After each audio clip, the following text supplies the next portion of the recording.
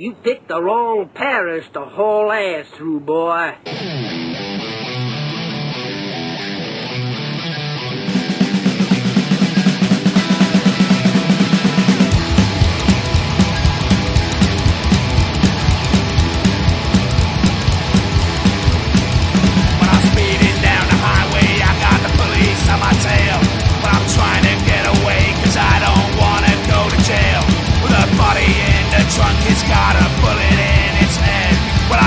past